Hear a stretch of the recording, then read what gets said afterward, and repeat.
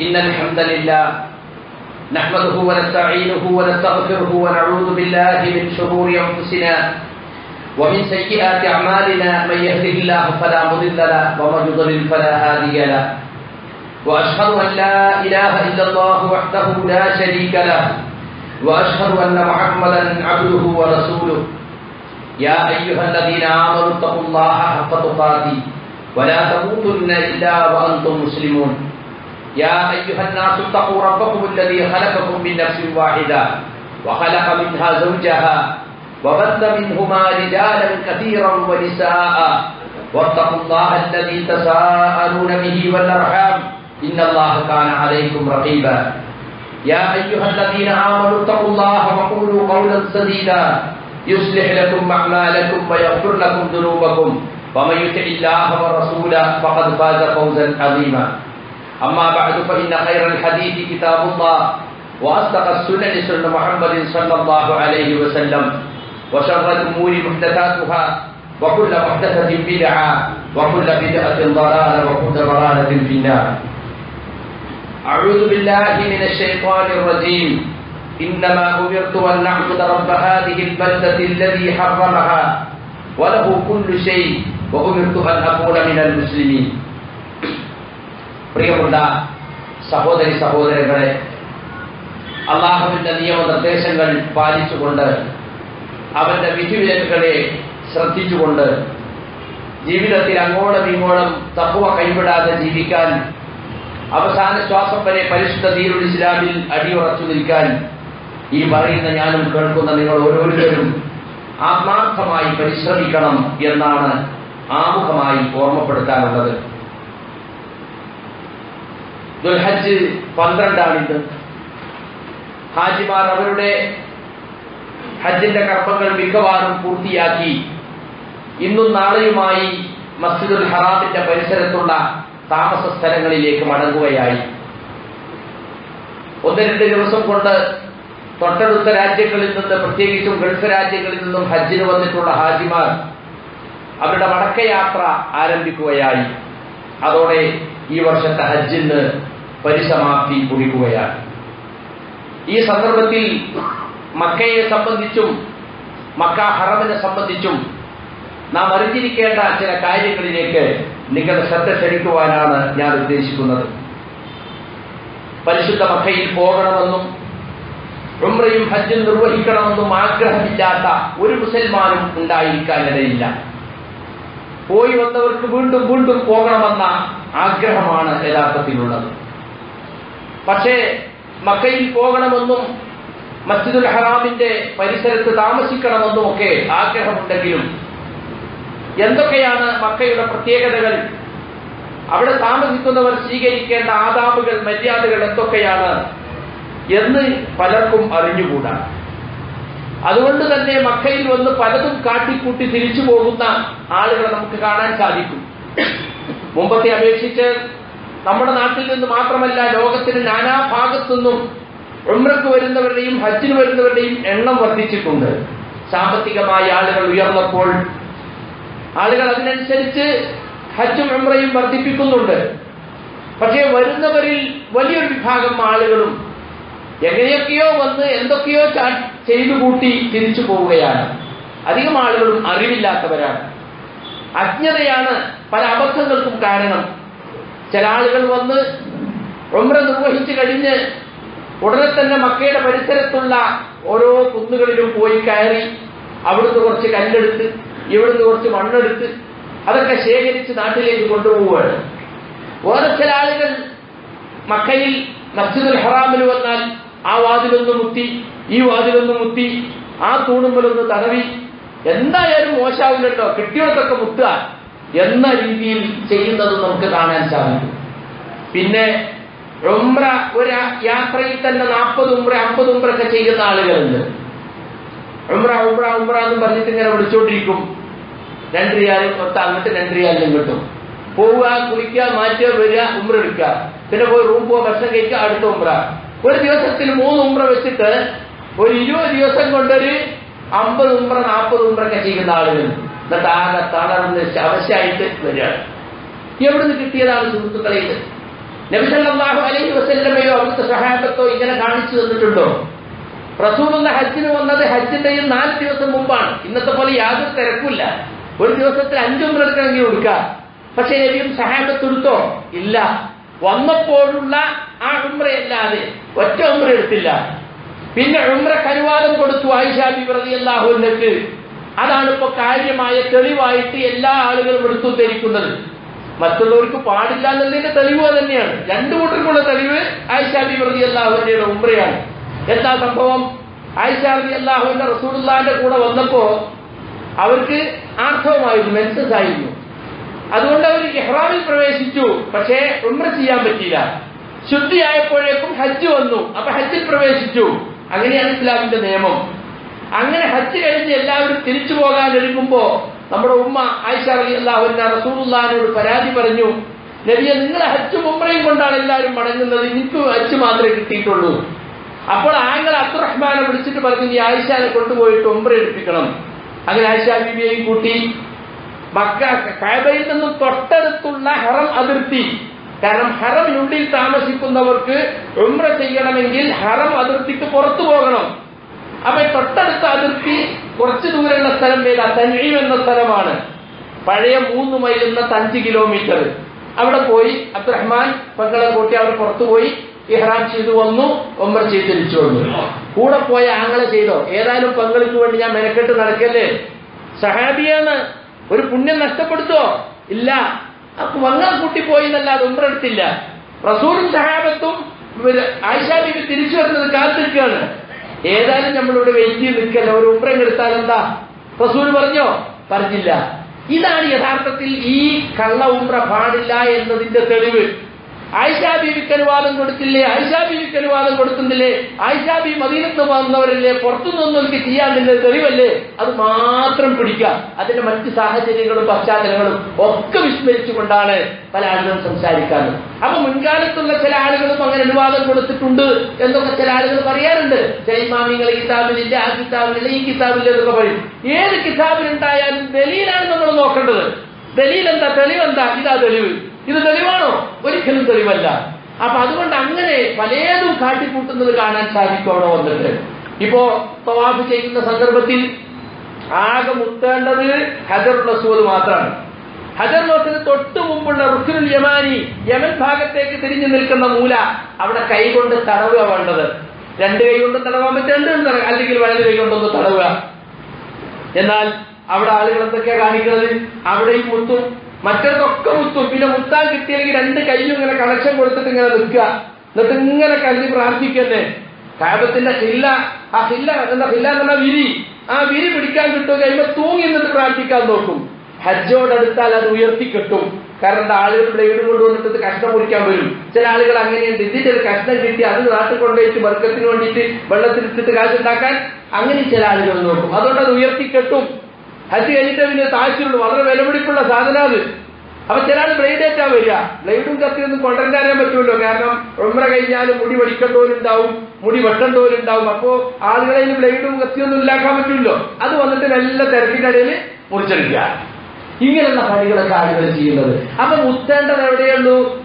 ഹജറുൽ അസ്വദ് മുത്താൻ കഴിഞ്ഞാൽ മുത്തുക. മുത്താൻ കഴിഞ്ഞിട്ടില്ലെങ്കിൽ തിരക്കുട്ടി അവൻ ഇടിച്ച് മറ്റവൻ ഇടിച്ച് തള്ളിപ്പോയിട്ട് ചില ആളുകൾ ഉംറ ചെയ്യും. അല്ല ഹജർ മുത്തും. അല്ലെ എന്റെ പെങ്ങളെ കൊണ്ടുപോയിട്ട് ഞാൻ മുത്തിച്ചു. ആഫ്രിക്കക്കാരൻ അങ്ങോട്ട് തള്ളി മലേഷ്യക്കാരൻ അങ്ങോട്ട് തള്ളി. എന്നിട്ട് ഞാൻ എന്റെ മകളും ഞാൻ എന്റെ മകളും മുത്തി എന്ന് പറയും. അങ്ങനെ ചെയ്യാൻ പാടില്ല എന്ന് റസൂൽ സല്ലല്ലാഹു അലൈഹി വസല്ലം ഗൗരവത്തിൽ പറഞ്ഞിട്ടുണ്ട്. ഉമർ ഫാറൂഖ് റളിയല്ലാഹുവിനോട് പറഞ്ഞു ഉമറേ താങ്കളുടെ ശക്തിയുള്ള ആളാണ്. പക്ഷേ ഹജർ മുത്താൻ വേണ്ടി ഒരിക്കലും ആരെയും ഉപദ്രവിക്കരുത്. ആ സ്ഥലം ഒഴിഞ്ഞു കിട്ടിയാൽ നിങ്ങൾക്ക് മുത്താം. മുത്താൻ കഴിഞ്ഞില്ലെങ്കിൽ കൈ കൈകൊണ്ട് തൊടാൻ പറ്റിയാൽ തൊടുക തൊടാനും കഴിഞ്ഞില്ലെങ്കിൽ കൈകൊണ്ട് ഇങ്ങനെ ആംഗ്യം കാണിക്കുക വലത് കൈകൊണ്ട് ആ ഭാഗത്തേക്ക് തിരിഞ്ഞിട്ട് ആംഗ്യം കാണിക്കുക അത്രമാത്രം. ആളുകൾ എന്തൊക്കെയാ കാണിക്കുന്നത് ഹജർ അടുത്ത് രണ്ട് കൈയും പൊക്കും. എന്നിട്ട് ആ ഹജറിന്റെ നേരെ ഇങ്ങനെ എടുത്തിട്ട് എന്തോ ആ വായു ഇങ്ങനെ എടുത്തിട്ട് അതിങ്ങനെ മുക്കുക പോലെ. പിന്നെ ചില ആളുകൾ ഇങ്ങനെ കാബത്തെ ഇങ്ങനെ തള്ളി നീക്കുന്ന പോലെ. എന്തെല്ലാം കാണിക്കുന്നത്?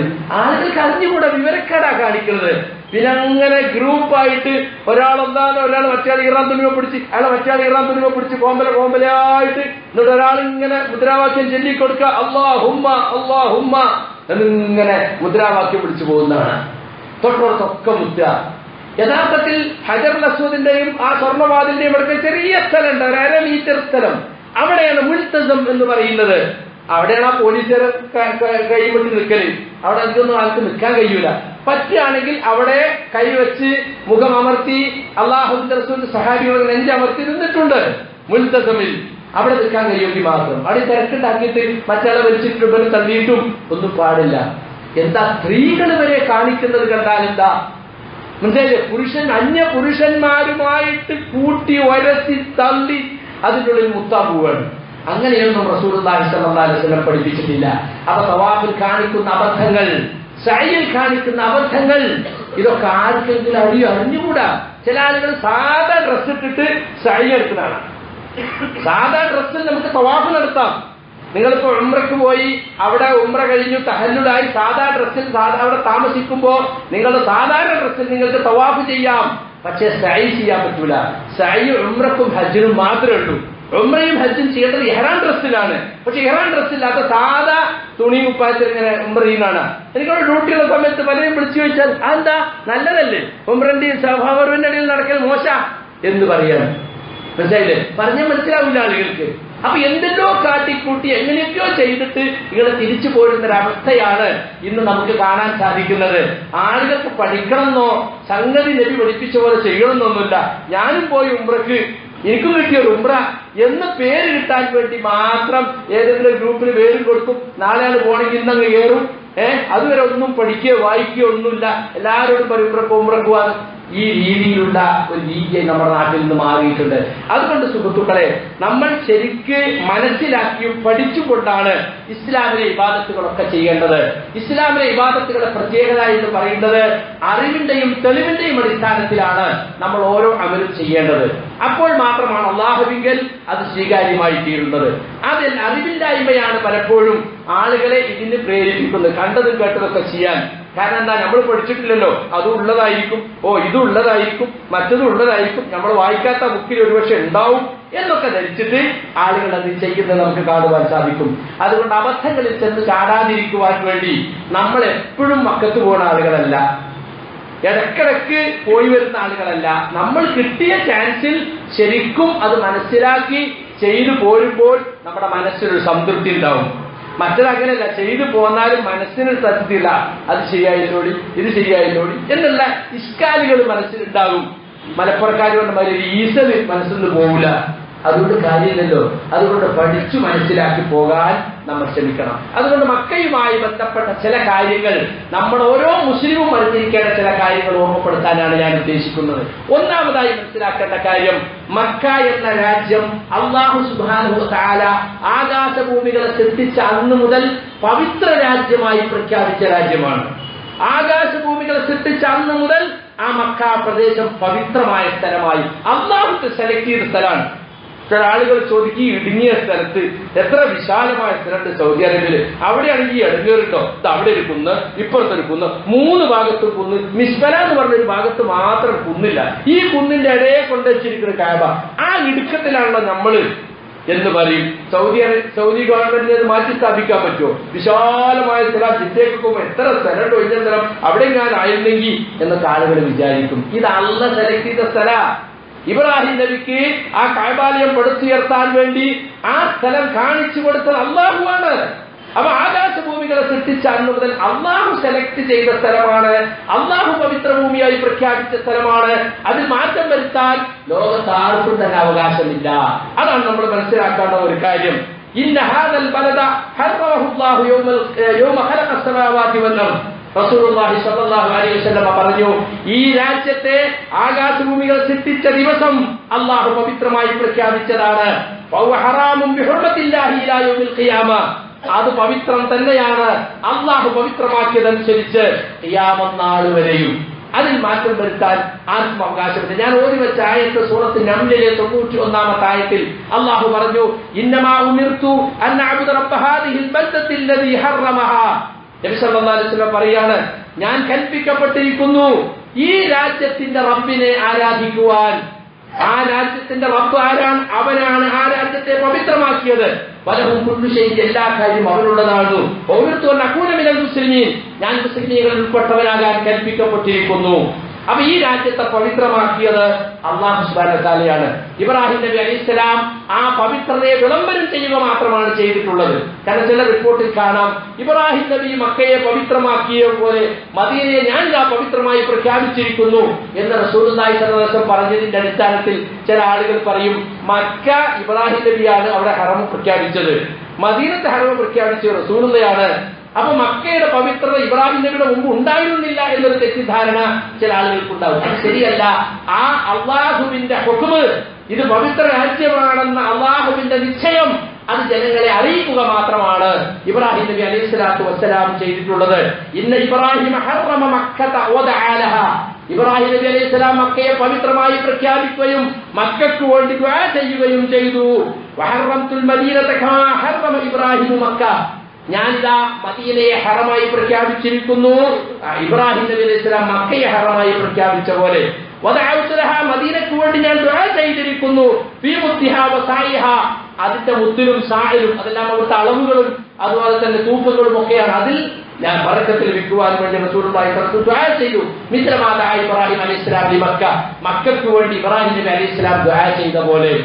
ഇബ്രാഹിം നബി അലൈഹി സ്വലാത്തു വസ്സലാം മക്കൾക്ക് വേണ്ടി ദുആ ചെയ്തിട്ടുണ്ട്. മക്കയിൽ എല്ലാ കായികനികളും അവിടേക്ക് വന്നെത്താൻ വേണ്ടി അതുപോലെ അവിടുത്തെ ആളുകൾക്ക് അന്ന് നിർഭയത്വം ലഭിക്കാൻ വേണ്ടി ആമിന ഈ നാട്ടിനെ ഒരു നിർഭയ രാജ്യമാക്കണേ എന്നിനെ ഇബ്രാഹിം നബി ഇസ്ലാം പ്രാർത്ഥിച്ചിട്ടുണ്ട്. അതുപോലെ റസൂൽ സ്വലാം മദീനക്ക് വേണ്ടിയും പ്രാർത്ഥിച്ചിട്ടുണ്ട്. സുഹൃത്തുക്കളെ ഇന്നിപ്പോ ഹറമൈനി ഷെലീഫൈനി രണ്ട് ഹറമുകൾ എന്നാണ് പറയുക. ഒന്ന് മക്കയിലെ ഹറമും മറ്റൊന്ന് മദീനയിലെ ഹറമും. ചില ആളുകൾ വിചാരിച്ചിട്ടുള്ളത് മക്കയിലെ പള്ളി പള്ളിയുടെ മുറ്റവും മാത്രമാണ് ഹറം എന്നാണ്. ഹെറമ് പോവുക ഹെറമ് പോവുക എന്ന് പറഞ്ഞാൽ ഹെറമിന്റെ തൊട്ടടുത്ത ബിൽഡിങ്ങിൽ ഉള്ളവരും പറയും പറയുന്നതാണ് ഹെറമ് പോവാന്ന് അപ്പൊ ഉദ്ദേശിക്കുന്ന പള്ളിയാണ്. അതൊരു നാടൻ പ്രയോഗം മാത്രമാണ്. യഥാർത്ഥത്തിൽ ഹെറം എന്ന് പറയുന്നത് മക്ക പള്ളി പള്ളിയുടെ മുറ്റവും മാത്രമല്ല കിലോമീറ്ററുകൾ ചുറ്റളവിലുണ്ട്. അത് ജിദ്ദ ഭാഗത്തേക്ക് ഇരുപത്തിരണ്ടോളം കിലോമീറ്റർ ഉണ്ട് ജയറാന ഭാഗത്തേക്ക് പത്തൊമ്പതോളം കിലോമീറ്റർ ഉണ്ട്. തന്നീവ് ഭാഗത്തേക്ക് അഞ്ച് കിലോമീറ്ററേ ഉള്ളൂ. ഇതിന്റെ അതിർത്തി ആരാ നിശ്ചയിച്ചത്? ജബ്രീൽ അലൈഹി സ്വലാത്തു വസ്സലാം നേരിട്ട് വന്ന് ഇബ്രാഹിം നബിക്ക് കാണിച്ചു കൊടുത്ത് ഇബ്രാഹിം നബി കുറ്റിയടിച്ചതാ ഹറമ്. അത് പിന്നീട് തലമുറകളായി പുതുക്കിക്കൊണ്ടിരുന്നു. റസൂലുള്ളാഹി വസല്ലം മക്ക വിജയിച്ചപ്പോഴും അതിന്റെ അതിർത്തി ശരിക്കും നിർണയിച്ചു വെച്ചിട്ടുണ്ട്. ഇന്ന് അവിടെ പോയാൽ ഹദ്ദുൽ ഹറം എന്ന് പറഞ്ഞിട്ട് വലിയ കമാനങ്ങൾ തന്നെ ഉണ്ടാക്കി വെച്ചിട്ടുണ്ട്. അതിന്റെ അപ്പുറത്ത് നോക്കിയാൽ ഹറം സ്റ്റാർട്ട് ഹിയർ ഹറം ഇവിടുന്ന് തുടങ്ങുന്നു. ഇപ്പുറത്ത് നോക്കിയാൽ ഹറം എൽ സിയർ ഹറം ഇവിടെ അവസാനിക്കുന്നു. കൃത്യമായി അത് വേർതിരിച്ചിട്ടുണ്ട്. കാരണം എന്താ? ഹറമിന് ഹറമിന്റേതായ നിയമങ്ങളുണ്ട്. ഹറമിൽ കടന്നവൻ പാലിക്കേണ്ട ചിട്ടകളുണ്ട്. ഹറമിൽ പുറത്തു വന്നവനും ഉള്ളിലുള്ളവനും ഒരുപോലെയല്ല. അതുകൊണ്ട് അതിന്റെതായ അക്കാമുകൾ വിധിവിലക്കുകൾ ഉള്ളതുകൊണ്ട് അത് കൃത്യമായി തന്നെ വേർതിരിച്ചു വെച്ചിട്ടുണ്ട്. അതുകൊണ്ട് ഹറം എന്ന് പറയുന്നത് ആ പള്ളിയും പള്ളിയുടെ പരിസരവും മാത്രമല്ല. അങ്ങനെ ചില ആളുകൾ മനസ്സിലാക്കിയിട്ടുണ്ട്. അതുപോലെ മദീനയും അങ്ങനെ തന്നെയാണ്. മദീനയുടെ ഹറമിന്റെ അതിർത്തി അള്ളാഹുവിന്റെ റസൂൽ സല്ലല്ലാഹു അലൈഹി വസല്ലം പറഞ്ഞിട്ടുണ്ട്. ആ മല മുതൽ ഈ മല വരെ അയർ മുതൽ തൗർ വരെ എന്നിങ്ങനെ വ്യക്തമായിട്ട് പറഞ്ഞിട്ടുണ്ട്. അവിടെയും ഇതുപോലെ ഹദ്ദുൽ ഹറം എന്ന് പറഞ്ഞിട്ട് ഗവൺമെന്റ് കൃത്യമായ അടയാളങ്ങൾ വെച്ചിട്ടുണ്ട്. ആർക്കും കാണാവുന്ന തരത്തിൽ ലൈറ്റുകളിട്ട് അത് വേർതിരിച്ചു നിർത്തിയിട്ടുണ്ട്. അതുകൊണ്ട് ഹറം എന്ന് പറഞ്ഞത് പവിത്രമായ രാജ്യമാണ് പവിത്ര പ്രദേശമാണ്. അള്ളാഹു പവിത്രയായി പ്രഖ്യാപിച്ചതാണ്.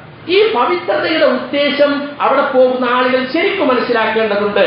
എന്താണ് ആ പവിത്രതയുടെ ഉദ്ദേശം? പ്രധാനമായും നമ്മൾ മനസ്സിലാക്കേണ്ട കാര്യം നന്മകൾ വർദ്ധിപ്പിക്കുക തിന്മകളിൽ നിന്ന് പാടെ വിട്ടു നിൽക്കേണ്ട ഒരു സ്ഥലമാണത് ഒരു മുസ്ലിം ഏത് സ്ഥലത്തും ഒരു മുസ്ലിം ഏത് സ്ഥലത്തും നന്മകൾ കഴിയുന്നത്ര വർദ്ധിപ്പിക്കുകയും തിന്മകളിൽ നിന്ന് പാടെ വിട്ടു നിൽക്കുകയും ചെയ്യേണ്ടതാണ്. അതൊരു മുസൽമാന്റെ കടമയാണ്. പക്ഷെ ഹറമിൽ ചെന്നാൽ അത് പ്രത്യേകിച്ചും കടമയാണ്.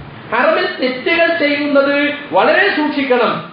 കാരണം അവിടെ തെറ്റിന് കൂടുതൽ ശിക്ഷയാണ്. കാരണം എന്താ? ഹറമിനെ അത് അപമാനിക്കുക അല്ലെങ്കിൽ ഹറമിന്റെ പവിത്രതയെ കളങ്കപ്പെടുത്തുക എന്ന ഒരു കുറ്റം കൂടി അതിൽ വന്നു ചേരുന്നുണ്ട്. അതുകൊണ്ട് എന്ത് വേണം? ഹറമിൽ പോകുമ്പോൾ കഴിയുന്നത്ര നന്മകൾ വർദ്ധിപ്പിക്കാൻ ശ്രമിക്കുകയാണ് വേണ്ടത്. തിന്മകളിൽ നിന്നും പാടെ വിട്ടു നിൽക്കണം. ഏതൊരു സന്ദർഭത്തിലും ഞാനിപ്പോൾ ഹറമിലാണുള്ളത് എന്ന ഓർമ്മ അയാൾക്കുണ്ടായിരിക്കണം. തൊട്ടടുത്ത ബിൽഡിംഗിൽ അങ്ങ് കയറി ഫൈവ് സ്റ്റാർ ഹോട്ടലിൽ ചെന്നു. സാധാ ഫൈവ് സ്റ്റാർ ഹോട്ടലിൽ ചെന്ന മാതിരി ടി വി അങ്ങ് ഓണാക്കി പിന്നെ കടന്നിട്ട് ആ സിനിമ ഈ സിനിമയൊക്കെ കാണും എല്ലാ ചാനലിലും വരില്ലേ മക്കത്തായിട്ട് ഇപ്പൊ ചാനൽ തടഞ്ഞിട്ടൊന്നുമില്ലല്ലോ.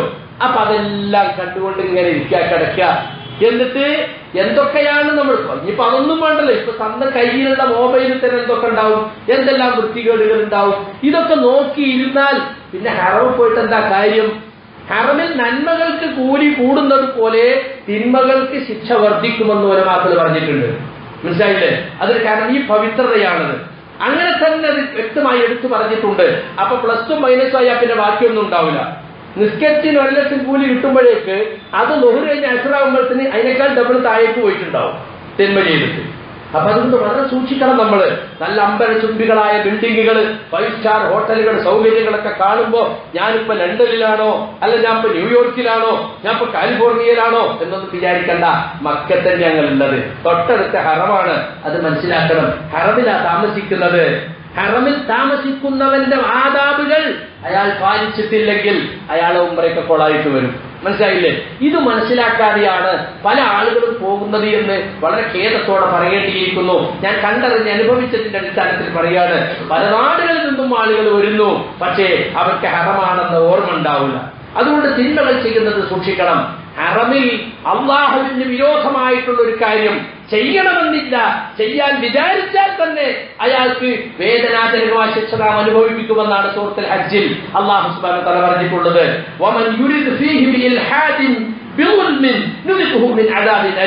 ആരെങ്കിലും അവിടെ മതവിരോധമായിട്ടുള്ള വല്ല കാര്യങ്ങളും അക്രമപരമായി ചെയ്യാൻ ഉദ്ദേശിച്ചാൽ നാം അവനെ വേദനാജനകമായ ശിക്ഷയിൽ നിന്നും അനുഭവിപ്പിക്കുന്നതാണ്. ചെയ്യണമെന്നില്ല. ചെയ്യാൻ വിചാരിച്ചാൽ മതി. സുന്ദരിയായ ഒരു പെണ്ണിങ്ങനെ പോണ് കാണുമ്പോ പറ്റിയാൽ അവൾക്ക് തുടർന്ന് വിചാരിച്ചത് തിരക്കാൻ പോണെന്ന് വിചാരിച്ചു. നടന്നില്ലെങ്കിലും കുറ്റണ്ടായി. മനസ്സിലായില്ലേ? ഒരാൾ അങ്ങനെ വിചാരിച്ചു. അങ്ങനെ വിചാരിക്കാറില്ലോ അങ്ങനെ എന്തെല്ലാം ആളുകൾക്ക് ഞാൻ വിചാരിക്കുന്നുണ്ട്?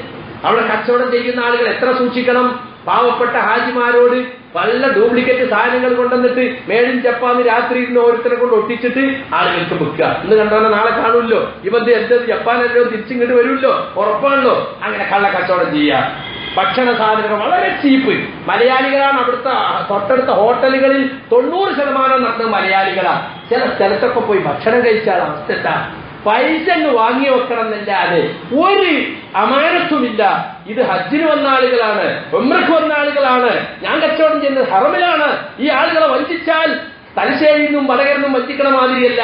ഇത് വമ്പിച്ച കുറ്റമാണ് എന്ന് മലയാളി മനസ്സിലാക്കണ്ടേ? ഇവിടെ വലിയ അമ്പലത്തുണ്ട് ബിൽഡിങ്ങുകൾ ഉണ്ടാക്കി ഓ പള്ളിക്കമ്പത്തിന്റെ മറ്റേയാളായിട്ടുണ്ടാവും നാട്ടിലെ വലിയ ദീനിന്റെ നടുക്കണ്ടായിരിക്കും പക്ഷെ അവിടുന്ന് കാശുണ്ടാക്കുന്നതോ ഈ കോലത്തിലാണ്.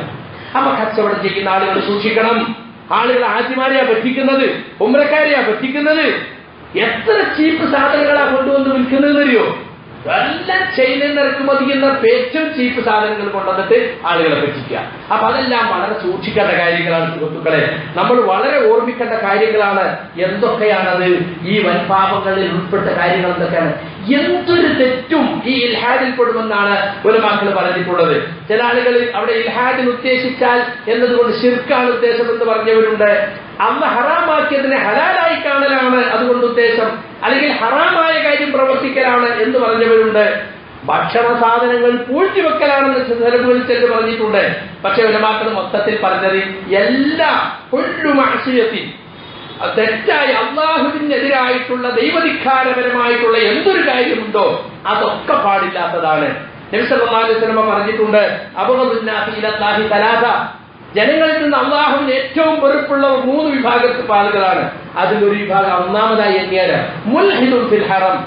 ഹറമിൽ വെച്ച് മതവിരോധമായിട്ടുള്ള കാര്യം ചെയ്യുന്നവൻ. കണ്ടോ?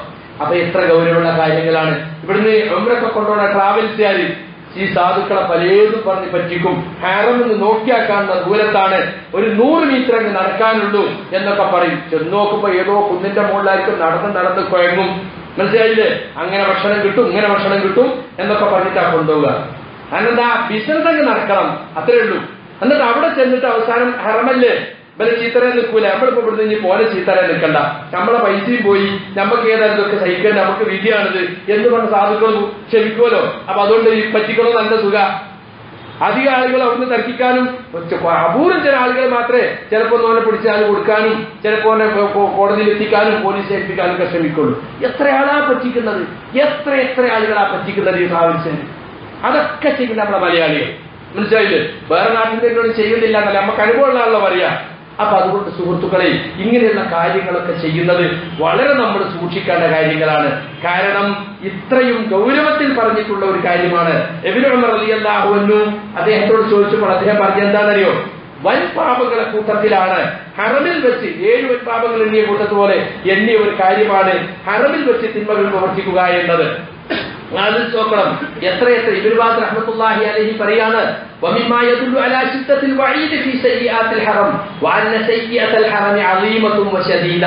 കണ്ടോ? ഹറമിൽ വെച്ച് തെണ്ടികൾ ചെയ്യുന്നതിനെ സംബന്ധിച്ചുള്ള കഠിനമായ താക്കീതിനെ അറിയിക്കുന്നതാകുന്നു ഈ ആയത്ത്. ഞാൻ ഈ ആയത്ത്. അവിടെ ഇൽഹാദ് ഉദ്ദേശിച്ചാൽ തന്നെ അവന് വേദനാജനകമായ ശിക്ഷ കിട്ടും എന്നത്. കാരണം എന്താ? അത് വളരെ ഗൗരവമുള്ളതും അതുപോലെ തന്നെ കഠിനമായ ശിക്ഷക്കാര്യമാകുന്ന വിധേയമാകുന്ന കാര്യവുമാകുന്നു എന്ന് പ്രത്യേകിച്ച് ഓർമ്മപ്പെടുത്തിയിട്ടുണ്ട്. അതുകൊണ്ട് ഹറമിന്റെ പവിത്രത എന്ന് പറയുന്നത് ഇതാണ്. അവിടെ നന്മകൾ വർദ്ധിപ്പിക്കുക തിന്മകളിൽ നിന്ന് പാടെ അകന്നു നിൽക്കുക ഞാൻ എവിടെയാണെന്ന ബോധം അയാൾക്ക് എപ്പോഴും ഉണ്ടായിരിക്കുക. രണ്ടാമത്തെ കാര്യം അതിന്റെ പവിത്രതയുടെ ഭാഗമായിട്ടുള്ളതാണ്. അവിടെ വെച്ച് യുദ്ധം ചെയ്യാനോ രക്തം ചിന്താനോ അവിടെ താമസിക്കുന്ന ആളുകളെ എന്തെങ്കിലും നിലയ്ക്ക് ദ്രോഹിക്കുവാനോ പാടില്ലാത്തതാണ്. അത് വളരെ ഗൗരവമുള്ള ഒരു വിഷയമാണ്. ആ പവിത്ര രാജ്യത്തിന്റെ പവിത്രതയുടെ താല്പര്യങ്ങളിൽപ്പെട്ട കാര്യമാണത്. ഇത് ഹറം എന്ന ആ പേര് തന്നെ പവിത്ര സ്ഥലം എന്ന പേര് തന്നെ സൂചിപ്പിക്കുന്നത് അതാണ്. മാത്രമല്ല അള്ളാഹു പറഞ്ഞു അവലം ഹറമൻ ആമിന. അവർക്കൊരു നിർഭയമായ ഒരു ഹറമിനെ നാം ഏർപ്പെടുത്തി കൊടുത്തിട്ടില്ലേ. അവർക്ക് ചുറ്റുനിന്നും ആളുകൾ റാഞ്ചിയെടുക്കപ്പെടുന്നു എന്നാണ്. അപ്പൊ നിർഭയ രാജ്യമായി അതിനെ അള്ളാഹുവിന്റെ റസൂൽ അള്ളാഹു സുബാൻ തല പ്രഖ്യാപിച്ചു. അള്ളാഹുവിന്റെ റസൂൽ ആ കാര്യം ഓർമ്മപ്പെടുത്തുകയാണ്. ഇബ്രാഹിം നബിയുടെ കാലം മുതൽക്ക് അത് പാലിച്ചു വരുന്നുണ്ട്. വളരെ മുമ്പ് മുതൽക്ക് ജാഹിലിയ കാലത്ത് പോലും നബി സല്ലല്ലാഹു അലൈഹി വസല്ലമ വരുന്നതിന് മുമ്പുള്ള കാലത്തിനാണ് എന്ത് പറയാ ജാഹിരിയ കാലം എന്ന് പറയാ. അന്ന് പോലും ഹറമിന്റെ പവിത്രതയെ അവർ മാനിച്ചിരുന്നു. ഹറം അതിർത്തിക്കുള്ളിൽ വെച്ച് സ്വന്തം വാപ്പാനെ കൊന്നോനെ കണ്ടാൽ പോലും ഒന്നും ചെയ്യൂല. ഓ പുറത്തു വെച്ചതിന് ഹറമിന് അതിർത്തിക്ക് പുറത്ത് കാത്തു കഴിയാ ഹറമിനുള്ളിൽ വെച്ച് തൊടുക പോലും ചെയ്യൂല. അത്രമാത്രം പവിത്രതയെ അവർ മാനിച്ചിരുന്നു എന്ന് നമുക്ക് കാണുവാൻ സാധിക്കും. അവിടെ താമസിക്കുന്ന ആളുകളെ ഒരിക്കലും തന്നെ ഉപദ്രവിക്കാൻ പാടില്ല. എന്തെങ്കിലും തരത്തിലുള്ള ദ്രോഹം അവിടെ താമസിക്കുന്ന വന്ന് താമസിക്കുന്നവരായാലും അവിടെ സ്ഥിരം താമസിക്കുന്ന ആളുകളായാലും അവർ ഉപദ്രവിക്കാൻ പാടില്ല. ആയുധങ്ങൾ കൊണ്ട് നടക്കാൻ പാടില്ല. ഇപ്പൊ അറബികൾ പൊതുവെ എന്തെങ്കിലും ഒരു ആയുധം കയ്യിലുണ്ടാവും. ഇപ്പൊ യമനികളാണെങ്കിൽ കത്തി ഇങ്ങനെ വെച്ചിട്ടുണ്ടാവും. പല മറ്റേ അറബികളെ വാൾ കയ്യിലുണ്ടാവും. ഇപ്പൊ സൗദിന്റെ ചിഹ്നം രണ്ട് വാള. അത് അറബികളെ പഴയ അവർ കൊണ്ട് സാധാരണ കൊണ്ടു ഒരു ആയുധമാണ്. എന്ത്? വാൾ എന്ന് പറയുന്നത്. എന്നാൽ ഹറം മതത്തിലേക്ക് പോകുമ്പോൾ അയാൾ ആ ഒരു ആയുധം താഴെ വെക്കണം. ഒന്നും തൊടാൻ പാടില്ല. ആയുധങ്ങൾ കുറച്ച് ഉപയോഗിച്ച് നടക്കാൻ തന്നെ പാടില്ല. എന്ന് പ്രത്യേകിച്ച് തന്നെ നെഹാ ബിമക്ക. കണ്ടോ? മക്കയിൽ ആയുധങ്ങൾ വഹിക്കുന്നത് അള്ളാഹുവിന്റെ റസൂൽ അലൈഹി വസ്ലം നിരോധിച്ചിട്ടുണ്ട്. പക്ഷെ ലറൂറത്തിന് വേണ്ടി ചിലപ്പോൾ അനിവാര്യമായി ഇപ്പൊ പോലീസ് പട്ടാളം പോലെയുള്ള ആളുകൾക്കൊക്കെ ക്രമസമാധാന പാലനത്തിന് വേണ്ടി വന്നാൽ തോക്കോ അല്ലെങ്കിൽ വാളോ വടിയോ ഒക്കെ അവർക്ക് കൊണ്ടു നടക്കാമെന്നല്ല. സാധാരണ ആളുകൾക്ക് എന്ത് ചെയ്യാൻ പാടില്ല? അതൊന്നും കൊണ്ടു നടക്കാൻ പാടുള്ളതല്ല. അങ്ങനെ നെറൂറത്തുണ്ടെങ്കിൽ മാത്രം പെട്ടെന്നൊരു യുദ്ധം പൊട്ടിപ്പുറപ്പെടുകയോ അല്ലെങ്കിൽ അതിന് വരുന്ന ആളുകളെ ദ്രോഹിക്കാൻ ശ്രമിക്കുകയോ ഒക്കെ ചെയ്യാൻ അത് തടയേണ്ടത് അവിടുത്തെ ഭരണാധികാരികളെ അല്ലെങ്കിൽ ഹറം സംരക്ഷിക്കുന്നവരുടെ കടമയാണ്. അത് ഉത്തരവാദപ്പെട്ടവർക്ക് അത് വഹിക്കാമെന്നല്ലാതെ മറ്റുള്ളവർക്ക് പാടില്ല എന്ന് തന്നെ പ്രത്യേകമായിട്ട് പറഞ്ഞിട്ടുണ്ട്. അതുപോലെ യുദ്ധം പാടില്ല. ബിമക്ക. മക്കയിൽ യുദ്ധം പാടില്ല. മസ്ജിദിൽ ഹറാം. മസ്ജിദുൽ ഹറാമിനടുത്ത് വെച്ച് നിങ്ങൾ അവരോട് യുദ്ധം ചെയ്യരുത്. ഹത്താ യുഖാതിലൂക്കും ഫീ. അവർ നിങ്ങളോട് ഇങ്ങോട്ട് യുദ്ധം ചെയ്യുന്നത് വരെ. ഫൈൻ ഫക്കത്തുലൂഹും അവരിങ്ങോട്ട് യുദ്ധത്തിനൊരുങ്ങി യുദ്ധം തുടങ്ങിക്കഴിഞ്ഞാൽ അവിടെ നിങ്ങൾക്ക് പ്രതിരോധിക്കാവുന്നതാണ് അവരോട് യുദ്ധം ചെയ്യാം ജസാഉൽ അങ്ങനെയാണ് അവർ നിങ്ങൾ കൊന്നുകളയുക. അപ്രകാരമാണ് സത്യനിഷേധികൾക്കുള്ള പ്രതിഫലമെന്ന് സൂറത്തുൽ ബക്കറിലെ നൂറ്റി തൊണ്ണൂറ്റി ഒന്നാമത്തെ ആയത്തിൽ കാണുവാൻ സാധിക്കും. നബിസല്ലാഹു അലൈഹി വസ്ലം അങ്ങനെയാണ് ചെയ്തത്. മക്ക വിജയിച്ചത്. എങ്ങനെയായിരുന്നു? മക്ക വിജയിച്ചപ്പോൾ നബിസല്ലാ വസല്ലം ആളെ വിട്ട് പ്രഖ്യാപിച്ചു. ഹറാം പള്ളിക്കകത്ത് പ്രവേശിച്ചാൽ അവൻ നിർഭയനാണ് അവൻ ആരോഗ്യം ചെയ്യൂല. ഒമൻ അകലക ബാബഹു ഫഹു ആമിൻ. സ്വന്തം വീട്ടിൽ വാതിലടച്ചിരുന്നവൻ അവൻ നിർഭയനാണ്. ഒമൻ തഹലദാർ അബി സുഫിയാൻ ഫഹു ആമിനുൻ. അബു സുഫിയാന്റെ വീട്ടിൽ ആരെങ്കിലും കയറിയിരിക്കുന്ന അവനും നിർഭയനാണ്. യഥാ മക്ക വിജയിക്കാൻ വേണ്ടി സൈന്യ സമേതം അള്ളാഹുവിന്റെ റസൂൽ സല്ലാ അലൈഹി വരികയാണ്. അപ്പൊ സഹാബികളോട് പറഞ്ഞാണിത്. അപ്പൊ മാത്രല്ല ഇങ്ങോട്ട് യുദ്ധത്തിനൊരുങ്ങി ആയുധമെടുത്ത് വന്നവരോടല്ലാതെ അന്ന് യുദ്ധം ചെയ്യരുതെന്ന് പ്രത്യേകം പറയുകയും ചെയ്തു. അങ്ങനെയാണ് മക്ക രക്തച്ചൊരിച്ചിൽ കൂടാതെ കീഴ്പ്പെടുത്തുകയും അവിടെയുള്ള ബിംബങ്ങളെയും മറ്റും ഒഴിവാക്കി മക്കയെ തൗഹീദിലേക്ക് തിരിച്ചു കൊണ്ടുവരികയും ചെയ്തിട്ടുള്ളത്. അന്ന് ആ ഹറമിന്റെ പവിത്രതയെ പ്രഖ്യാപിച്ചുകൊണ്ടാണ് അവിടെ പ്രവേശിച്ചവൻ നിർഭയനായി എന്ന് പറയുന്നത്. അവിടെ നിർഭയനായി എന്ന അവിടെ വെട്ടിയ തട്ടൂലാന്നോ കുത്തിയ ഏൽക്കൂലാന്നോ ഒന്നും അതിന് അർത്ഥമല്ല നിർഭയത്വം നിങ്ങൾ നൽകണം എന്നാണ്. ഇബ്നു കസീർ റഹ്മത്തുള്ളാഹി അലൈഹി പറഞ്ഞു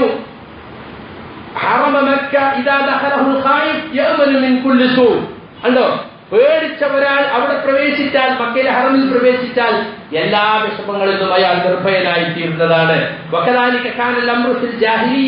അതുപോലെ തന്നെയായിരുന്നു ജാഹിരിയ കാലത്തെ സ്ഥിതിയും. ജാഹിരിയ കാലത്തും അങ്ങനെ തന്നെയാണ്. അപ്പൊ നമ്മൾ അവർക്ക് നിർഭയത്വം കൊടുക്കണം എന്നാണ് അർത്ഥം അവിടെ വരുന്നവർ മറ്റുള്ളവരെ ദ്രോഹിക്കുവാനോ ബുദ്ധിമുട്ടിക്കുവാനോ പാടില്ല എന്നാണ് അതിന്റെ ഉദ്ദേശം. വൈന്നവൽ മഖ്സൂദ് അന്നവൽ വാജിബ തഅമീനു മൻ ദഖലഹു ശൈഖ് അഹമ്മദ് അലൈഹി പറയാണ് അതിന്റെ ഉദ്ദേശം വാജിബാണ് എല്ലാവർക്കും അവിടെ പ്രവേശികർക്ക് നിർഭയത്വം നൽകൽ. അവിടെ വന്ന ഒരാളോടും ഒരു തിന്മയും ചെയ്യാൻ പാടില്ല. ഒരാളെ ഉപദ്രവിക്കാൻ പാടില്ല. അപ്പോ വെറുതെ ആളുകളെ ചീത്ത പറയുകയോ ഏഷണി പറയുകയോ പരദൂഷണം പറയുകയോ പരിഹസിക്കുകയോ പലതരം ആളുകളെയും കാണും അവിടെ. പച്ചക്കുറി ആളുകളെ കാണും. വലിയ മനുഷ്യന്മാരെ കാണും. നല്ല സുന്ദരന്മാരെ കാണും. അതിവിരൂപന്മാരെ കാണും. അപ്പൊ നമ്മളാളുകൾക്ക് എല്ലാരെയും പരിഹരിച്ചാളെ അയാളെ കോലം എന്താ കോലം കണ്ടിട്ട് പാടില്ല. അച്ഛനും മുമ്പ്രക്കും വരുന്നവർ അള്ളാഹുവിന്റെ അതിഥികളാണ്. അവരെ അള്ളാഹു അങ്ങനെയാ സൃഷ്ടിച്ചിട്ടുള്ളത്. നമ്മൾ സൃഷ്ടിച്ചത് എങ്ങനെയെങ്കിൽ അവരങ്ങനെയാ സൃഷ്ടിച്ചിട്ടുള്ളത്. ചില വലിയ മനുഷ്യന്മാരായിരിക്കും. ചില ചെറിയ മനുഷ്യന്മാരായിരിക്കും. ചില നല്ല സുന്ദരന്മാരായിരിക്കും. ഒന്നും പറയാൻ പാടില്ല. അങ്ങനത്തെ വാക്കുകളൊന്നും അവരെല്ലാം അള്ളാഹുവിന്റെ അതിഥികളാണ്. വഫ്ദുർ റഹ്മാനാണ്. അവരൊരിക്കലും തന്നെ യാതൊരു ആക്ഷേപവും പറയാൻ പാടുള്ളതല്ല. അതുപോലെ തന്നെ അവിടെ നിന്ന് വേട്ടയാടാനോ വേട്ട മൃഗത്തെ വിരട്ടിയോടിക്കാൻ പോലും പാടില്ല. ഒരു വേട്ട മൃഗം നല്ല കടലിലിരിക്കുന്നു. അപ്പൊ നിങ്ങൾക്ക് അവിടെ നിൽക്കാൻ വേണ്ടിയിട്ട് കല്ലെടുത്ത് അതിനെ ആട്ടിയിട്ട് നിങ്ങളവിടെ പോയി കുത്തിരിക്കാൻ പറ്റുമോ? പക്ഷെ അതുപോലും പാടില്ല എന്നാ പറഞ്ഞു. അപ്പൊ വേട്ടയാടി കൊന്നാലോ? അതിന് ശിക്ഷ തന്നെ ഉണ്ട് അപ്പൊ അത്ര വരെ ഷജർ അവിടുത്തെ മരങ്ങൾ മുറിക്കാൻ പാടില്ല. ആളുകൾ നട്ടു വളർത്തിയ ചെടികളെ പറ്റിയല്ല പറയുന്നത്. ആളുകളെ പ്രവൃത്തി ഒന്നും കൂടാതെ സാധാരണ നിലയ്ക്ക് മുളച്ചു വരുന്ന മരങ്ങളുണ്ടല്ലോ. അത് മുറിക്കാനോ അതിന്റെ ഇലയൊടിക്കാനോ അതിന്റെ കൊമ്പ് പൊട്ടിക്കാനോ ഒന്നും പാടില്ല. അത്രയും പവിത്രമായ സ്ഥലമാണത്. കഥവിഷ്ടകരത്ത് പാടില്ല പുല്ല് പറിക്കാൻ പാടില്ല എന്നാൽ സാധാരണ മുളച്ചു വരുന്ന പുല്ലാണ് ഉദ്ദേശം. അല്ല ആളുകൾ നട്ടു വളർത്തി നനച്ചുണ്ടാക്കുന്ന പുല്ലോ അല്ലെങ്കിൽ ചെടിയോ പൂന്തോട്ടോ അതിനല്ല പറയുന്നത്. അല്ലാത്തവ പറിക്കാൻ പാടില്ല. അതുപോലെ വല്ല സാധനവും വീണ് കിട്ടുകയാണെങ്കിൽ പൊതുവെ വീട് കിട്ടുന്ന സാധനങ്ങളുടെ ഇസ്ലാമിന്റെ നിയമം എന്താണ്? ഒരു സാധനം നിങ്ങൾക്ക് വീട് കിട്ടിയാൽ ഇന്നാലിന്ന സാധനം അതിന്റെ വിശേഷണങ്ങളോട് കൂടി പരസ്യപ്പെടുത്തണം. ഇന്ന സ്ഥലത്ത് കിട്ടിയിട്ടുണ്ട് ആളുണ്ടെങ്കിൽ വന്നാൽ തിരിച്ചു കൊടുക്കും. അതിന്റെ അടയാളങ്ങൾ പറയാം. അതല്ലാത്ത ഒരാൾക്ക് അത് മനസ്സിലാവുകയും ചെയ്യരുത്. അതിന്റെ ആൾക്ക് അത് മനസ്സിലാവുകയും ആ രീതിയിൽ അതിനെ പരസ്യപ്പെടുത്തണം. ഒരു കൊല്ലം പരസ്യം ചെയ്തിട്ട് ആരും വന്നില്ലെങ്കിൽ നിങ്ങൾക്കത് എടുക്കാം. അത് നിങ്ങൾ ഉടമസ്ഥതയിലാക്കാം. എന്നാൽ ഹറമിൽ നിന്ന് വീട് കിട്ടുന്ന സാധനം ഈ ഉദ്ദേശത്തിൽ എടുക്കാൻ പാടില്ല. പരസ്യപ്പെടുത്തുക എന്ന ഉദ്ദേശത്തിൽ മാത്രമേ എടുക്കാൻ പാടുള്ളൂ. എടുക്കാതിരിക്കുക നല്ലത്. ഒരു അഞ്ഞൂറ് റിയാൽ അവിടെ കിടക്കണം ഞാൻ എടുത്ത്. എടുത്തിട്ട് ഞാൻ എതിർ പാവങ്ങൾ കൊടുക്കാൻ വിചാരിച്ചു. പറ്റുമോ ആ അഞ്ഞൂറ് അവിടെ കിടന്നോട്ടെ. അത് നിങ്ങളതിൽ പെട്ടല്ല മാത്രമല്ല രണ്ട് ഹറമിലും മക്കൂദാണ് വീട് കിട്ടിയ സാധനങ്ങൾ കൊടുക്കുന്ന പ്രത്യേക സ്ഥലമുണ്ട് അവിടെ. അവിടെ കൊണ്ടുപോയി ഒഴിപ്പിച്ചാൽ നിങ്ങൾ ഉത്തരവാദിത്തം തീർക്കും. അല്ലെങ്കിൽ അത് എടുക്കാതിരിക്കാനാണ് നല്ലത്. അവിടുത്തെ ഉദ്യോഗസ്ഥന്മാരോട് പറഞ്ഞാൽ അവരത് എടുത്തിട്ട് ആ സ്ഥലത്ത് കൊണ്ടുപോകും. അപ്പൊ വീട് കിട്ടിയ സാധനങ്ങൾ വരെ ഒരു കൊല്ലം വെച്ചിട്ട് ആരെയും കിട്ടിയില്ലെങ്കിൽ എനിക്ക് എടുക്കാം എന്ന ഉദ്ദേശത്തിൽ എടുക്കാൻ പാടില്ല. അത് മറ്റു സ്ഥലങ്ങളിലേ പറ്റുള്ളൂ. ഈ മക്കയിലാണെങ്കിൽ വീട് കിട്ടിയ സാധനം പരസ്യപ്പെടുത്തുക എന്ന ഉദ്ദേശത്തിൽ മാത്രം എടുക്കാനുള്ള ഉദ്ദേശത്തിൽ കൊല്ലം കഴിഞ്ഞാൽ എനിക്ക് കിട്ടൂല എനിക്കത് എടുക്കാനേ പാടില്ല എന്നാണ് മനസ്സിലാക്കേണ്ടത്. അപ്പൊ ഇങ്ങനെയുള്ള പവിത്രത ആ പവിത്രതകൾ കാത്തു സൂക്ഷിച്ചുകൊണ്ടായിരിക്കണം നമ്മൾ മക്കയിൽ പോകുന്നത്. മക്കയിലും മദീനയിലും പോകുമ്പോൾ രണ്ട് ഹറമുകളെയും പവിത്രത ഉൾക്കൊള്ളുന്നവരായിരിക്കണം അങ്ങോട്ട് പോകേണ്ടത്. അല്ലാത്ത പക്ഷം അയാൾ വെറുതെ പോയിട്ട് ആ പവിത്ര രാജ്യത്ത് പോയിട്ട് തെറ്റുകൾ ചെയ്തിട്ട് അയാൾക്ക് കൂടുതൽ തിന്മ വർദ്ധിച്ച് തിരിച്ചു പോരുകയാണ്. ഇത് നല്ല പോകാതിരിക്കലാണ് നല്ലത്. വെറുതെ പൈസയും പോയി അവരും പോയി എന്ന അവസ്ഥ വരും. അതുകൊണ്ട് ആ പവിത്രത മനസ്സിലാക്കി കൊടുക്കണം ഒമ്പർക്കും ഹജ്ജിനും പോകുന്ന ആളുകൾക്ക്. പഠിച്ചു മനസ്സിലാക്കി അതനുസരിച്ച് ആ മഹൽ രാജ്യത്തിന്റെ ആ മഹത്തായ പ്രദേശത്തിന്റെ പുണ്യവും പവിത്രതയും ഉൾക്കൊണ്ടുകൊണ്ടായിരിക്കണം അയാൾ തിരിച്ചു വരേണ്ടത്. അവിടെ കള്ളന്മാരില്ലേ? അവിടെ ചെരുപ്പ് അവിടെ മറ്റവരില്ലേ? അവിടെ അങ്ങനെ ചെയ്യണമില്ലേ എങ്ങനെ ചെയ്യണമില്ലേ ഹോട്ടലിന്റെ ഉടമയില്ല അവിടെ ടി വി കണ്ടുത്തിരിക്കണം പിന്നെ ഓമ്പടെ മുഴുവൻ താമസിച്ചു. ഓരോ മനസ്സിലാകട്ടെ എനിക്കിപ്പോ എന്താ? ഇങ്ങനെയൊന്നും അതൊന്നും നമ്മളെ വിഷയമല്ല. അവിടെ താമസിക്കണവര് പല കോലത്തിലുള്ളവരുണ്ടാവും. അവിടെ ഹോട്ടൽ നടത്തുന്നവർക്ക് പലതും ചെയ്യേണ്ട. അതൊന്നും നമുക്ക് നമ്മൾ നമ്മളെ തടിയാകാക്കേണ്ടത്. നമ്മൾ ചെയ്യുന്നതിനെ പറ്റിയാണ് നമ്മൾ റബ്ബിനോട് ഉത്തരം പറയേണ്ടത്. ആ അത് മനസ്സിലാക്കിക്കൊണ്ടായിരിക്കണം നമ്മൾ പോകേണ്ടത്. ആളുകൾ ചെയ്യുന്നു എന്നത് നമുക്ക് ചെയ്യാത്ത ന്യായമല്ല. അതുകൊണ്ട് ഹജ്ജിനും ഉമ്രക്കും പോകുന്ന ആളുകൾ മക്കയുടെ പവിത്രത മനസ്സിലാക്കണം എന്ന് ഓർമ്മപ്പെടുത്തുകയാണ് അള്ളാഹു സുബാന എല്ലാ വിഷയങ്ങളും ദീനിന്റെ അടിസ്ഥാന പ്രമാണങ്ങൾക്ക് മനസ്സിലാക്കി ഉൾക്കൊള്ളുന്നവരെ കൂട്ടത്തിൽ എന്നെയും നിങ്ങളെയും ഉൾപ്പെടുത്തുമാറായി. അൽഹംദുലില്ലാഹിൽ വാഹിദുൽ ഖഹാർ. വസ്സലാത്തു വസ്സലാമു അലാ അഷ്റഫിൽ അംബിയാഇ വൽ മുർസലീൻ. മുഹമ്മദിൻ വഅലാ ആലിഹി വസഹാബത്തിഹി അജ്മായി ഒരിക്കൽ കൂടി അള്ളാഹുവിനെ സൂക്ഷിക്കണേ എന്ന് പ്രത്യേകം ഓർമ്മപ്പെടുത്തുകയാണ്. പറഞ്ഞു വന്ന വിഷയത്തെക്കുറിച്ചല്ല സാന്ദർഭികമായ മറ്റൊരു വിഷയം നിങ്ങളുടെ ശ്രദ്ധയിൽപ്പെടുത്തുകയാണ്. സുഹൃത്തുക്കളെ ദുരിതാശ്വാസ ക്ഷേമ പ്രവർത്തനങ്ങൾ ധാരാളമായി നടക്കുന്ന ഒരു സന്ദർഭമാണിപ്പോൾ. കേരളത്തിൽ എല്ലാ സംഘടനകളും ജാതി മത ഭേദമന്യേ എന്ന് തന്നെ പറയാം. സമാശ്വാസിപ്പിക്കുന്നതിനു വേണ്ടിയും ദുരിതങ്ങൾ നീക്കുന്നതിനു വേണ്ടിയും പണിയെടുക്കുന്നുണ്ട്. മുസ്ലിം സംഘടനകൾ അതിൽ എല്ലാ അർത്ഥത്തിനും മുമ്പിൽ തന്നെയാണ്. പക്ഷെ ഒരു കാര്യം പ്രത്യേകം നമ്മൾ മുസ്ലിമീകൾ പ്രത്യേകിച്ച് ശ്രദ്ധിക്കേണ്ടതുണ്ട്. നമ്മൾ ഏതൊരു അമലും അള്ളാഹുക്ക് സ്വീകാര്യമായി തീരണമെങ്കിൽ ഇഹ്ലാസ് നിർബന്ധമാണ്. ഇഹ്ലാസ് എന്ന് പറഞ്ഞാൽ അള്ളാഹുവിന് വേണ്ടി മാത്രമായിരിക്കുക. നമുക്ക് വേണ്ടിയാകരുത്. നമുക്കതിൽ ഒന്നും നമുക്ക് കിട്ടണം എന്ന രൂപത്തിലാകരുത്. പലപ്പോഴും പല ആളുകളും വ്യക്തികളാകട്ടെ സംഘങ്ങളാകട്ടെ സംഘടനകളാകട്ടെ നമ്മൾ ചെയ്യുന്ന സൽക്കർമ്മങ്ങൾ പൊലിപ്പിച്ചു കാണിച്ച് അത് മറ്റുള്ളവരെ കൊട്ടി അറിയിച്ച് അത് ഫോട്ടോ എടുത്ത് അത് വാട്സപ്പിലിട്ട് അത് ഫേസ്ബുക്കിലിട്ട് ലോറിയിൽ നിറച്ച് സാധനങ്ങൾ വെക്കുക എന്നിട്ട് മറ്റൊക്കെ പടന്ന് ഫോട്ടോ എടുക്കുക. അത് വിടുക. ഏഹ് ഓരോ ബോർഡ് ഇങ്ങനെ കാണിക്കുക. എല്ലായിടത്തും ബോർഡ്. ബാറ്റ് ഇങ്ങനെ കാട്ടിയിട്ട് എല്ലായിടത്തും. ബാറ്റ് കുത്തിയിട്ടല്ലാതെ നിങ്ങൾ ആരും ചെയ്യേണ്ട ഒരു പ്രവർത്തനം എന്നാണ് സംഘടനക്കാർ കൊടുക്കുന്ന നിർദ്ദേശം. ഇതെന്തിനു വേണ്ടിയാണ്. ഇത് വളരെ തെറ്റായ ഒരു കീഴ്വഴക്കമാണ് സുഹൃത്തുക്കളെ. ഇത് നമ്മുടെ അമലിനെ നശിപ്പിച്ചു കളയുന്ന കാര്യമാണ്. നമ്മുടെ അമൽ അള്ളാഹുക്ക് സ്വീകാര്യമാണെങ്കിൽ അത് അള്ളാഹ്ക്ക് വേണ്ടി മാത്രമായിരിക്കണം. ഇവിടെയുള്ള പോപ്പുലാരിറ്റിയോ ഇവിടെ ആളുകൾക്കിടയിൽ നമ്മൾ അവർ നമ്മൾ അവരെ അവർ നമ്മളെ കുറിച്ച് പ്രശംസിച്ച് പറയണമെന്നോ അല്ലെങ്കിൽ ആളുകളുടെ നാക്കിലും വാക്കിലും അതുപോലെ പത്രത്തിലെ പേജിലും നമ്മൾ നിറഞ്ഞു നിൽക്കണമെന്നോ വിചാരിച്ചാണ് നമ്മൾ സാമൂഹ്യക്ഷേമ ജീവകാരുണ്യ പ്രവർത്തനങ്ങൾ ചെയ്യുന്നതെങ്കിൽ ഒരിക്കലും തന്നെ അള്ളാഹുവിന്റെ അടുക്കൽ അതിന് യാതൊരു കൂലിയും കിട്ടൂല. അത് റിയാ ആണ്. റിയാ എന്ന് പറഞ്ഞാൽ ലോകമാന്യം എന്ന് പറയും. നല്ല കാര്യങ്ങൾ മറ്റുള്ളവരെ കാണിച്ചുകൊണ്ട് ജനഹൃദയങ്ങളിൽ സ്ഥാനം നേടുക. ഇവർ തരക്കടില്ലട്ടോ. ഇവർ നല്ല കൂട്ടരാട്ടോ. ഇവരപ്പൊ നമ്മൾ കൂടുതലാട്ടോ ഇവരപ്പൊ ഈ സമയത്ത് നല്ല ആളുകൾ ഇട്ടോ. എന്ന് ആളുകളെ കൊണ്ട് പറയിപ്പിക്കണം. ഓ നമുക്ക് നല്ല ഇത് കിട്ടിട്ടോ. ആ ഒരു പ്രവർത്തനത്തോട് നമ്മളെ സംഘടന ആളുകളെല്ലാവരും പ്രശംസിച്ചു പോയി. പോലീസും ഇപ്പൊ മന്ത്രിയും എല്ലാവർക്കും ഇപ്പൊ നമ്മൾ വേണ്ടപ്പെട്ട ആളായിട്ടോ. ഇത് കിട്ടാനാണ് നമ്മൾ പണിയെടുത്തത് അർത്ഥം മനസ്സിലായില്ലേ? ഇപ്പോഴാണെങ്കിൽ അത് പൊങ്ങച്ച കുറച്ച് കൂടുതലുമാണ്. എല്ലാവരും അല്ലേ നേതാക്കന്മാരെ അനുയായികളെ പ്രശംസിക്കാം അനുയായികൾ നേതാക്കന്മാരെ പ്രശംസിക്കാം നമ്മളെ നേതാക്കന്മാർ സന്ദർഭത്തിൽ വന്നതുകൊണ്ടാണ് അങ്ങനെ ചെയ്യാൻ സാധിച്ചത്. നമ്മുടെ അണികൾ വളരെ സന്ദർഭത്തിൽ ഉയർന്നു പ്രവർത്തിച്ചുകൊണ്ടാണ് നേതാക്കന്മാർ അങ്ങോട്ട് പ്രശംസിക്കുക അങ്ങനെ അങ്ങോട്ടും ഇങ്ങോട്ടും പ്രശംസിച്ചിട്ട് ഇങ്ങനെ ഇതാ ഇതാണ് ഇപ്പോ പൊതുവെ നടന്നുകൊണ്ടിരിക്കുന്നത്. അത് വളരെ അപകടകരമായ ഒരു വസല്ലം പറഞ്ഞിട്ടുണ്ട് നിങ്ങളെ മേൽ ഞാൻ ഭയപ്പെടുന്നതിൽ ഏറ്റവും ഭയപ്പെടുന്ന ഒരു കാര്യമാണ് ചെറിയ ശിർക്ക്. അപ്പൊ സഹാബികൾ ചോദിച്ചു അസ്ഗർ യാ അള്ളാഹുവിന്റെ ദൂതരെ ചെറിയ ശിർക്ക് എന്താണ്? അപ്പൊ അള്ളാഹുവിന്റെ റസൂൽ പറയുകയുണ്ടായി റിയാ അത് റിയ ആണ്. എന്താ മറ്റുള്ളവരെ കാണിക്കാൻ വേണ്ടി സൽക്കർമ്മങ്ങൾ ചെയ്യാം. എത്ര ഫോട്ടോ അറിയോ? അയ്യായിരം റുപ്യന്റെ സാധനം കൊടുക്കുമ്പോഴത്തേന് അത് ആൽബാക്കാൻ വേണ്ടി അത് ആയിരം റുപ്യ ആൽബാക്കും ഇവിടുത്തെ ഒരു ഫോട്ടോ ഇപ്പുറത്തെ ഒരു ഫോട്ടോ ഫുള്ളായിട്ട് കിട്ടുന്ന ഫോട്ടോ മറ്റവരെ കാണിക്കുന്ന ഫോട്ടോ ഇവനെ കാണിക്കുന്ന ഫോട്ടോ. കാരണം പിരിവിന് എന്നുള്ളത് കാണിച്ചു കൊടുക്കണ്ട. കണ്ട? കണ്ട? കണ്ട? ഇതാണ് പ്രധാന പരിപാടി. ഇത് തന്നെയാ മനസ്സിൽ പിന്നെ എങ്ങനെ അതൊക്കെ വിജയിക്കുന്ന സുഹൃത്തുക്കളെ? അപ്പൊ അള്ളാഹ് അടുക്കൽ നമുക്ക് കൂലി കിട്ടണം എന്നാണെങ്കിൽ ഇതിന്റെ ഒന്നും ആവശ്യമില്ല. പിന്നെ ചില ആളുകൾ പറഞ്ഞു വെച്ചാൽ നമ്മളെ കുറിച്ച് ഗവൺമെന്റിലും ഡിപ്പാർട്ട്മെന്റിലും ഒക്കെ തെറ്റിദ്ധാരണ നമ്മൾ തീവ്രവാദത്തിന്റെ ആളുകളാണ്. അത് തിരുത്താൻ വേണ്ടി നമ്മൾ ചെയ്യണം സുഹൃത്തുക്കളെ ഈ ഡിപ്പാർട്ട്മെന്റും പോലീസൊന്നും ഈ സംഗതി ഒന്നും ഉണ്ടാക്കുന്നത് നിങ്ങൾ ഈ പ്രതീത് കണ്ടിട്ടാ. ഇവിടെ ഏറ്റവും വലിയ തീവ്രവാദ പ്രവർത്തനത്തിന്റെ ആളുകളാണ് സാമൂഹ്യക്ഷേമത്തിന് മുമ്പിലുണ്ടാകുക അതുകൊണ്ട് പോലെ തീവ്രവാദത്തിൽ നിന്ന് കൈ കല കഴിയോ കഴിയൂല തീവ്രവാദികളല്ലാത്ത പോലെ ഇനിയിപ്പോ എത്തൊന്നും ചെയ്തിട്ടില്ലെങ്കിലും അതൊക്കെ മനസ്സിലാക്കാൻ വേറെ ചില മാനദണ്ഡങ്ങളുണ്ട്. ഓലിഞ്ഞ് ഏഴ് വെള്ളത്തിൽ കുളിച്ചിട്ടും കാര്യമില്ല. ഓലെ നമുക്കറിയാൻ ഡിപ്പാർട്ട്മെന്റ് പറയാ മനസ്സിലായില്ലേ?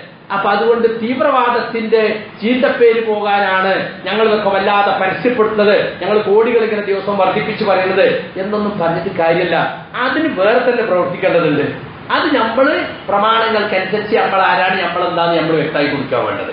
പിന്നെ ചില ആളുകൾ പറയും സതക്ക കൊടുക്കുന്ന നേരത്ത് പരസ്യമായി കൊടുക്കാന്ന് ഈ തുമ്പു സതക്കാത്തി പരിമായ നിങ്ങൾ സതക്ക പരസ്യപ്പെടുത്തുകയാണെങ്കിൽ അത് നല്ലത് തന്നെ.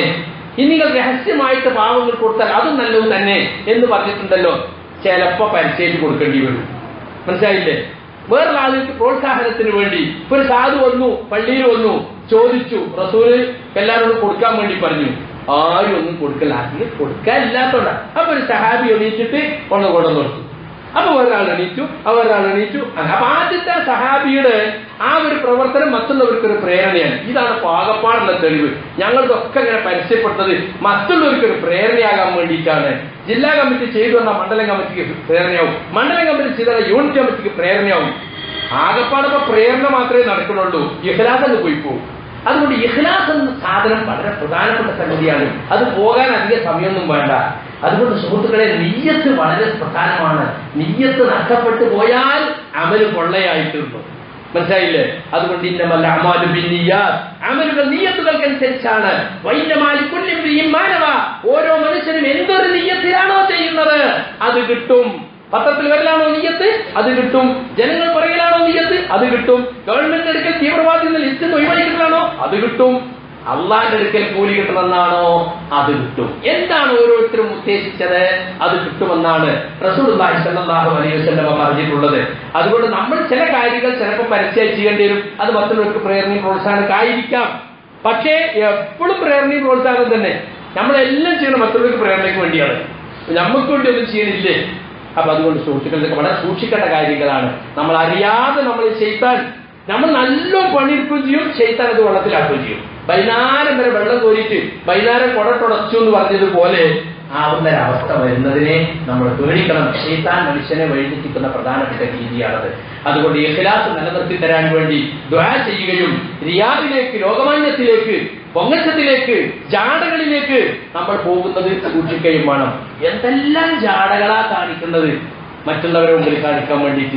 സംഘടനാ രംഗത്തുള്ള മത്സരം ആ സംഘടനയേക്കാൾ നമ്മളാച്ചത് ഈ സംഘടനയേക്കാൾ നമ്മളാച്ചത് നമ്മൾ കാണിച്ചിട്ട് ഇങ്ങനെ ചെയ്യണം എന്ന ചിന്താഗതി ആളുകളിൽ വളരെ വളരെ പാടില്ല. അതുകൊണ്ട് സുഹൃത്തുക്കളെ ഇഖലാസ് നിലനിർത്തി തരാൻ വേണ്ടി ദ്വാ ചെയ്യുകയും നീയത്ത് നന്നാക്കാൻ വേണ്ടി പരിശ്രമിക്കുകയും ചെയ്യാം അള്ളാഹു സുബാനത്തല നമ്മളെല്ലാവരും ചെയ്ത സൽക്കർമ്മങ്ങൾ സ്വീകരിക്കുകയും അതിലുള്ള തെറ്റുകളെല്ലാം പുറത്ത് അതിനർഹമായ പ്രതിഫലം നൽകുകയും ചെയ്യുമാറാകട്ടെ അള്ളാഹു وفق للمؤمنين والمؤمنات والمسلمين والمسلمات الأحياء منهم والأموات تقم في الدعوات يا قاضي الحاجات ربنا هب لنا من أزواجنا وذرياتنا قرة أعين واجعلنا للمتقين إماما ربنا اصرف عنا عذاب جهنم إن عذابها كان غراما إنها ساءت مستقرا ومقاما ربنا آتنا في الدنيا حسنة وفي الآخرة حسنة وقنا عذاب